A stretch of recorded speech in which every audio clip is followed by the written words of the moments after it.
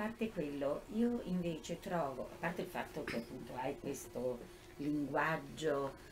eh, che secondo me è molto affascinante, quello che io normalmente cerco nei libri e che non trovo chiaramente in molti no, degli no, attori. Non affascinante, fascinoso. E vabbè, insomma, io dico quello che ritengo, poi tu dirai quello che cioè, e che soprattutto è l'immagine, cioè ogni frase brevissima, ogni parola accanto a un'altra parola dà un'immagine. E questa immagine è surreale,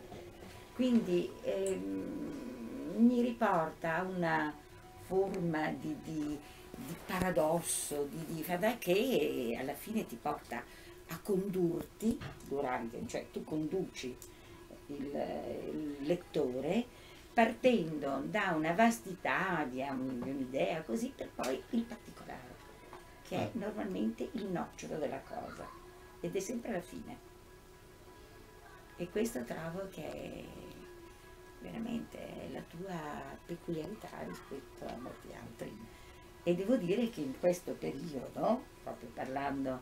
mentre allora c'era sempre tutta una ricerca, ma era una ricerca collettiva ed era una ricerca affascinante perché ehm, praticamente c'è un grosso scambio di, e io trovo che dal punto di vista, lasciando perdere il punto di vista politico, il 68 ci ha portato dal punto di vista letterario una vivacità e una, e una forza nuova che purtroppo è stata però poi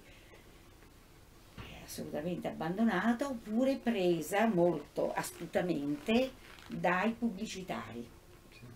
che appunto usano appunto l'immagine, la metafora, il paradosso come era appunto quello che era allora.